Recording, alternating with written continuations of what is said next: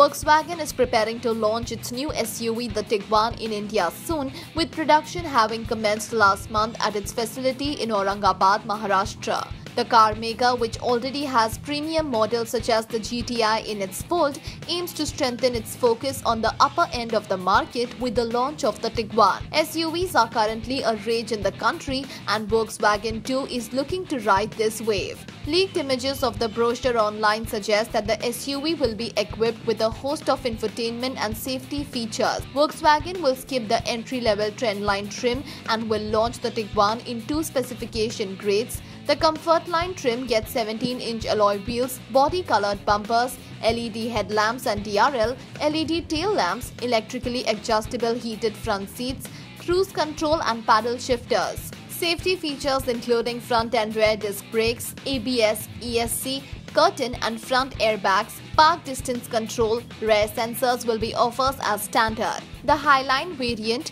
will add 18-inch alloys, keyless entry with push-button start, panoramic sunroof, ambient lighting, illuminated front scuff plates, easy open tailgate with delayed closing function and safety features such as self-sealing tires and reverse parking cameras.